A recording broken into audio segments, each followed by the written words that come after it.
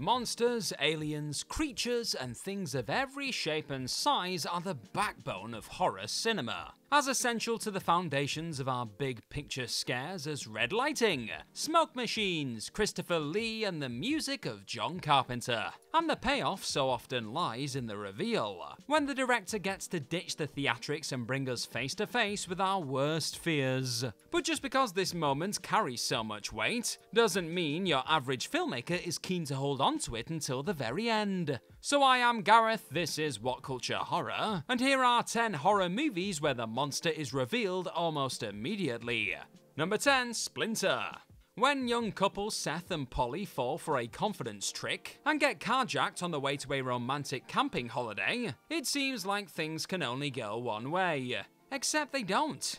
A flat tire leads Seth, Polly, and the carjackers, escaped convict Dennis and his drug addicted girlfriend Lacey, to an abandoned petrol station. And things go from bad to worse in a way nobody who hadn't seen the trailer or the film title could have predicted. This is the setup for Toby Wilkins' Splinter, a viral monster horror movie that goes from road trip to chamber piece in a matter of minutes. And it isn't long until the creepy crawling makes itself known. Never mind that the very thing which blew out the group's tyre in the first place was an infected animal, the petrol station is quickly crawling with infected hosts and body parts, all controlled by a splintery fungus that isn't shy about putting itself out there. What does it want? To multiply. Why does it want this? Ah, who knows. Number 9, Mad God. Phil Tippett's stop motion horror masterpiece Mad God finally arrived on our screens in 2021.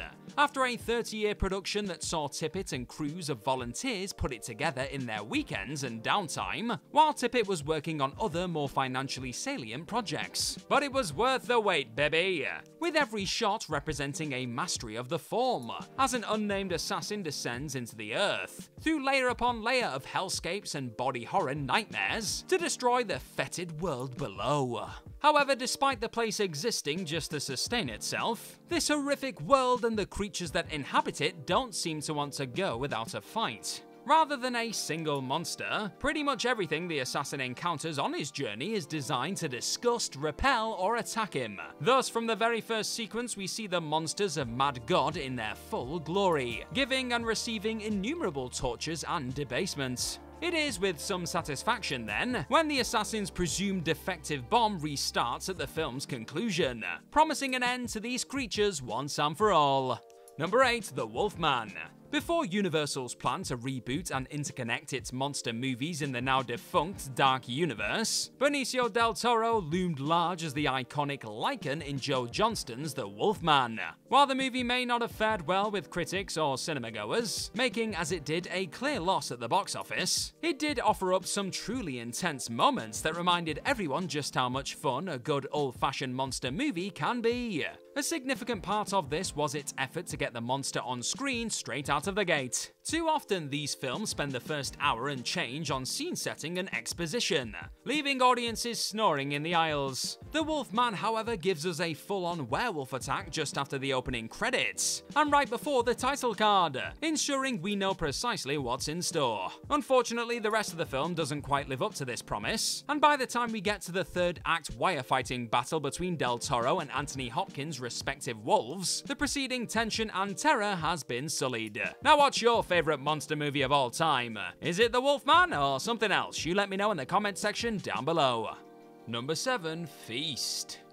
John Gulager's Feast puts a group of strangers, including Krista Allen, Balthazar Getty, and, well, Henry Rollins, together in a remote Nevadan bar, where they must work together in order to survive the onslaught of a group of flesh eating monsters. Seems like a fairly straightforward horror movie setup, and it is, except for one detail. We know what we're dealing with almost immediately. Despite warnings from the off that something awful and dangerous is on its way, it takes the death of Hero, an outsider who stumbles into the bar covered in blood to make everyone sit up and take note. Within the first 10 minutes of screen time, Hero whips out the head of one of the attacking creatures, and just in case that fails to capture our attention, one of the very same creatures bursts through the bar window and decapitates him for good measure. Unleashed upon the bar's patrons, the monsters are soon out in full force, sweeping from the rafters and hacking off legs. And while keeping the creepy things in the dark a little longer usually does wonders for a film, Feasts candid approach makes it all the more entertaining.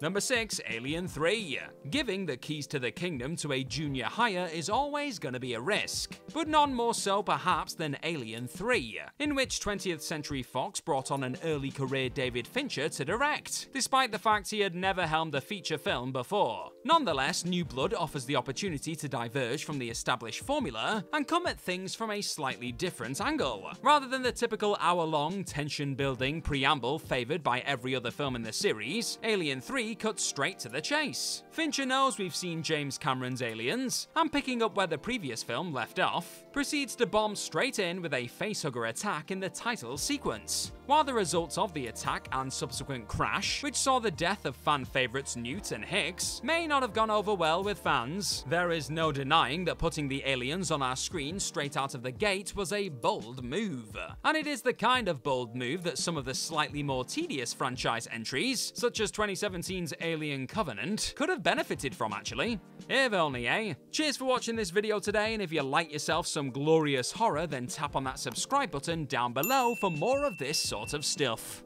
Number 5. It. We all know the scene. Sweet little Georgie, decked in wellies and a yellow raincoat, sails his paper boat in the gutters of Derry as the skies open upon him. He loses his boat down a storm drain, and there, waiting in the dark, is the monstrous, grinning, white-skinned clown Pennywise, promising cotton candy and popcorn if Georgie will only reach in to get his boat back. The power of this opening from Andy Muschietti's It, adapted from Stephen King's Mammoth Tome, lies not only in the distinctiveness of the visuals, but also in the fact that the monster quite literally introduces himself, before, you know, biting off a six-year-old's arm. And Muschietti holds nothing back. All the blood, all the terror, all the screaming, and all the many sharp rows of teeth. Yep, that's nightmare fuel right there. Far from diminishing Pennywise's presence through the film's first act, as he menaces Derry from the shadows, the first scene heightens it. We know for certain from the outset that there are no limits, no horrors to which the rest of the film isn't willing to extend. Number 4, The Blob. Irvin Yeaworth's sci-fi horror The Blob opens up on Steve McQueen, yep, that Steve McQueen, and Aneta Corsaut spending some quality time at makeout points when a meteor from space hits. Inside is a gelatinous ooze that absorbs anything it touches and grows exponentially as a result, soon wreaking havoc on the town and threatening the national security of the good old US of A. Despite the sprightly, tongue-in-cheek Burt Bacharach pen theme song that kicks off the film, the titular creature is no trifle, or jelly for that matter, and Yeaworth makes sure it's with us from the word go. Steve, McQueen's aptly named character, and Jane, played by Corsaut, race to the site of the meteor's landing in the first few minutes of the film, but not fast enough to prevent local old man Barney, played by Olin Howland, poking it with a stick and unleashing the monster inside. The meteor cracks, the blob makes its move, and Barney's arm is quickly engulfed by the hungry gunge. The blob does indeed creep and leap and glide and slide across the floor, but mostly it just sticks to things. Number 3. A Quiet Place.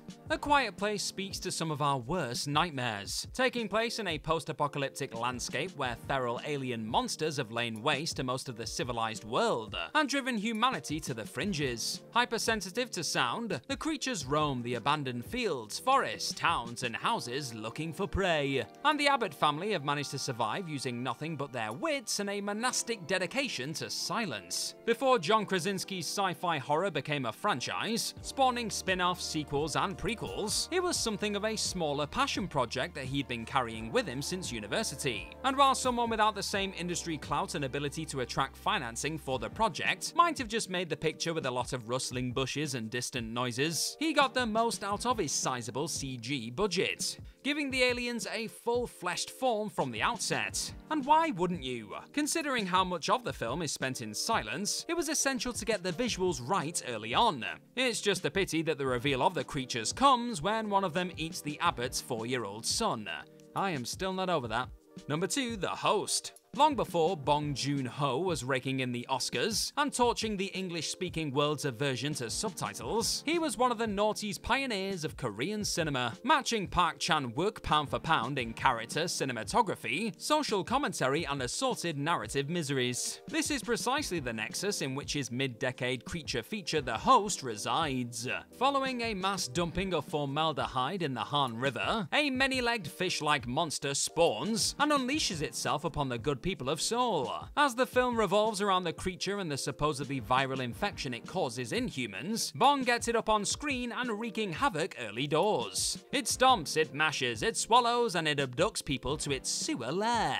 However, not only is the monster a human creation, so is the non-existent virus. The government and international community use the mere idea of a virus as carte blanche to implement martial law and use chemical weapons on the population. So yes, maybe the real monster is humanity here, but either way, we see it from the start.